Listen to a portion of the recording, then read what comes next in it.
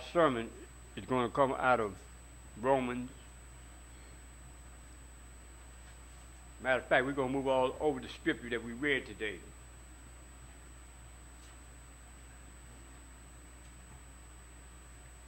And the topic is God is coming back. Amen? Because in our scripture here, it tells us of the coming of God. And it also tells us that when Noah was building the ark, this is what I like here. When Noah was building his ark, everybody thought that Noah was crazy. Some of y'all may know the story of Noah as he was building the ark. It took him some years in order to complete the ark. But when he did, God told him to get two of each species and take them inside the ark and take his family. Amen? And we know that during that time, a flood came and the earth was destroyed. And we're now at this time when God is going to come back. And our scriptures tell us that he's coming back. No one knows the time nor the date. But he is coming back. But this is the part where I myself and you as being human beings in order to, to live according to the word of God, you must put on the armor. Amen? In other words, the armor is the word of God. Not my word, not your word, not your understanding, but the word of God. Now, there are times you have to ask God for help. Like when you wake up in the morning, you're not quite feeling up to par. Because I've had mornings when I have not felt too good. My body aches. That is the time when you thank God, well, Lord, I thank you this morning for waking me up to another day. Father God, I ask you this morning to keep your hands on me.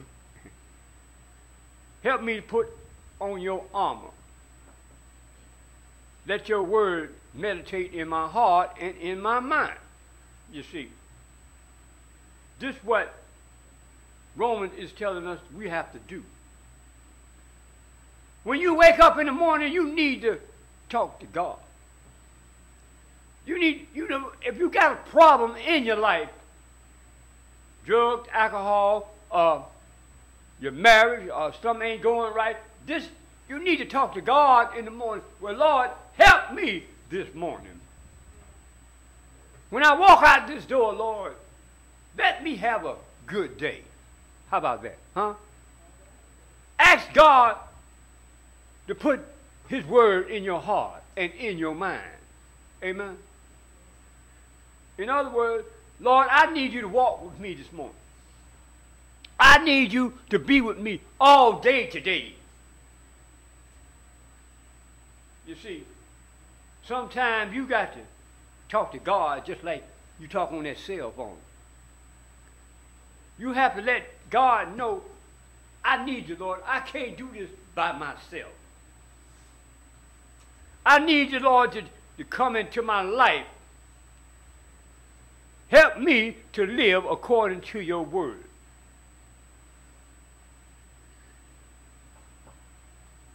You see, over here in Matthew, it tells about what's going to happen when God comes back. Amen. You and your homeboy could be sitting out there side by side when the Lord come back. But our scripture tells us right here, ain't but one of you going. Amen? Not two of you, one of you. That's the word of God. It's right there in black and white. When the Lord comes back, two by two. One is going with God, and you know where the other one's going. You can figure that out for yourself. But what I'm come to tell you this morning is there is a time for change. We are living in the last days. It's time for us to stop doing those ungodly things lust, anger, adultery, drunkenness. Anything that you are guilty of and you know it is wrong, it's time for you to bring about a change. It's time for you to turn your life over to God and try to live according to what God's word says. Amen. It's not time for you to be sleeping. It's time to turn your life over to God. Don't wait for something bad to happen and then you want to talk to God. Talk to Him when everything is humpy dory, when everything's going roses. Pray to Him. Give Him thanks when you're doing good. Don't wait till you get your back up against the wall and you're doing bad Now I need you. Well, you needed me all the time, but you didn't call me. But now, here you got yourself in trouble, now you want me. That's how it is sometimes. While we're doing good, living good, everything's going our way, for some reason we don't have time to thank God. For some reason, we don't even think about praising God. But when something goes wrong, Lord, I need you.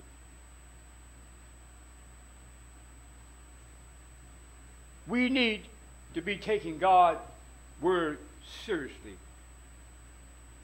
Today is a day of repentance.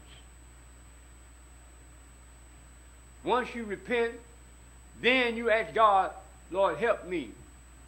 Put this armor on.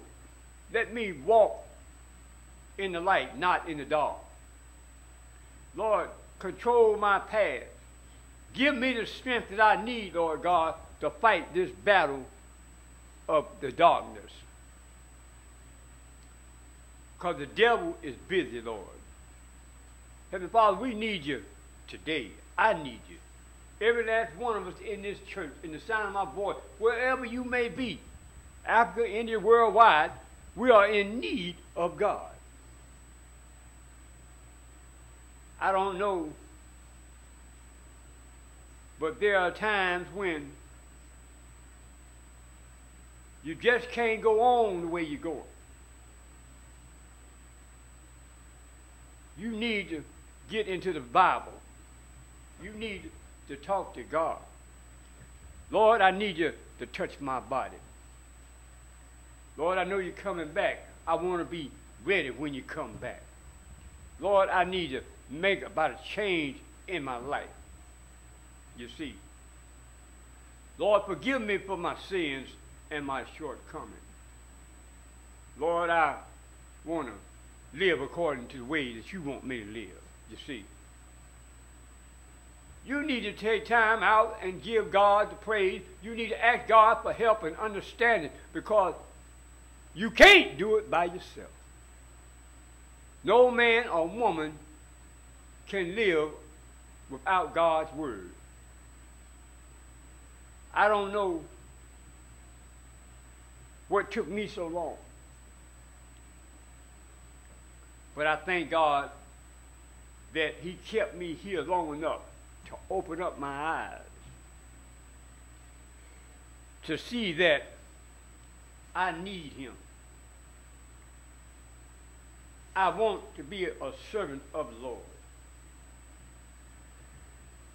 It tells us that then two in the field, one shall be taken and the other left. Two women shall be grinding at the mill, one be taken and one left. Watch therefore, for ye know not what hour the Lord does come. But this, that if the good man of the house had known, he would have been awake when a thief broke into his house. You see, God is letting you know you don't know when I'm coming but you need to be ready.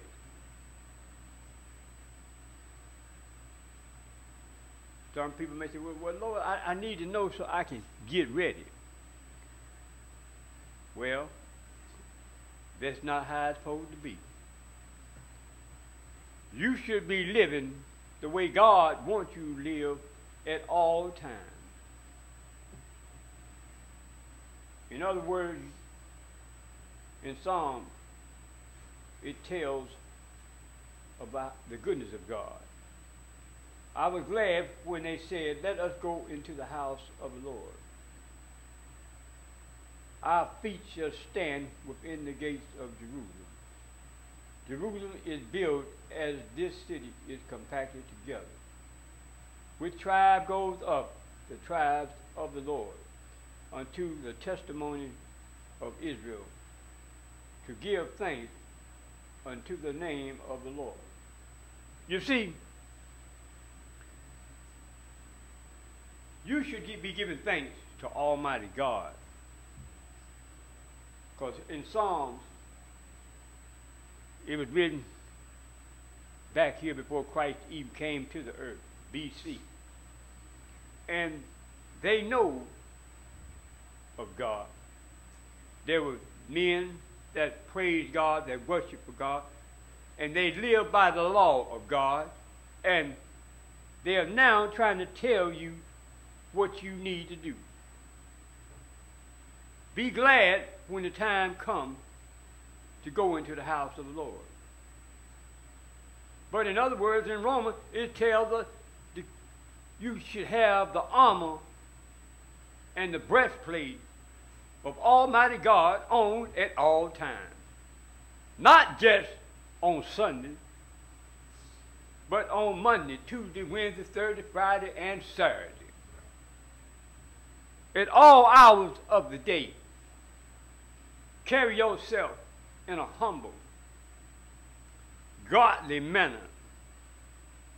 Don't let the flesh or your mind or envy, lust, all the other things control your footsteps. Amen?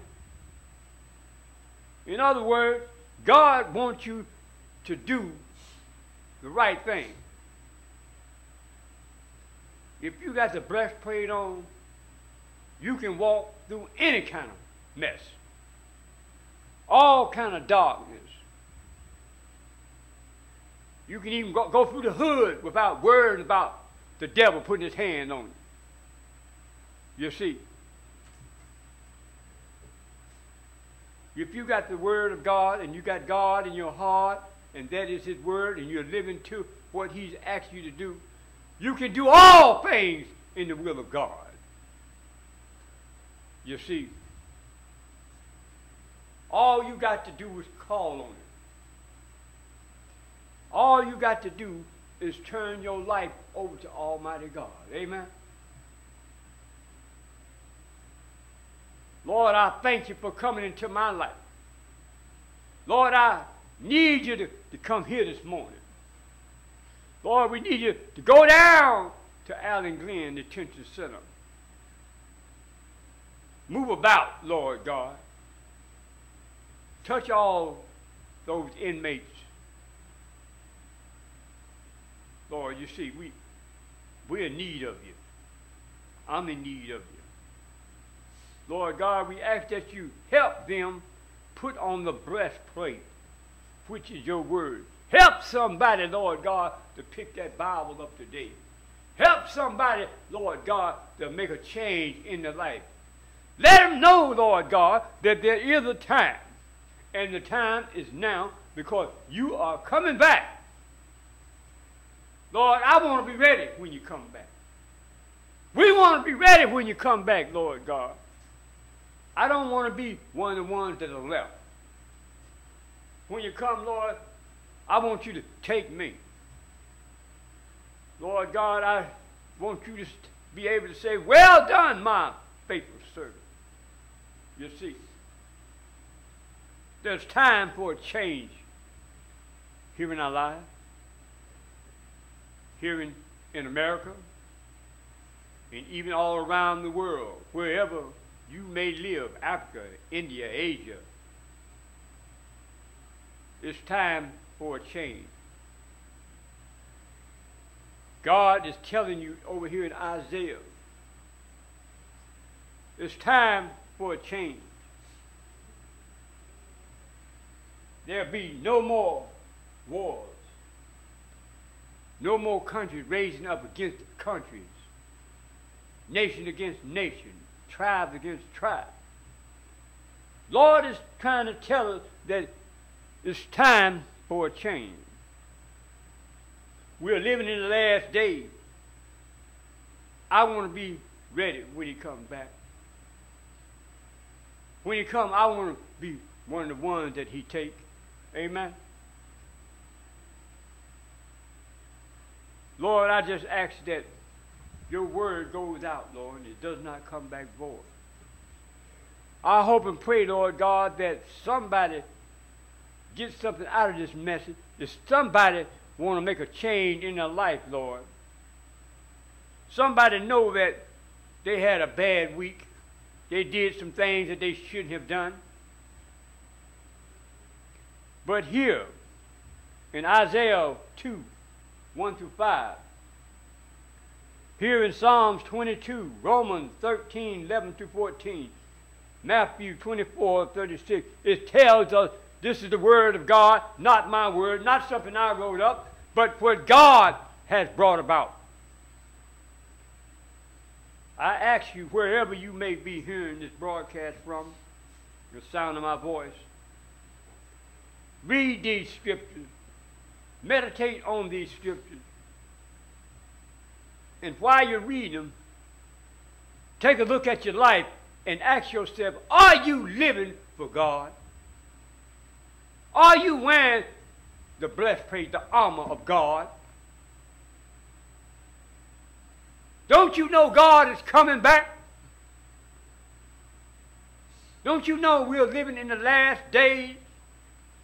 Don't you want to be one of the ones that he take, not one of the ones he leave? This morning,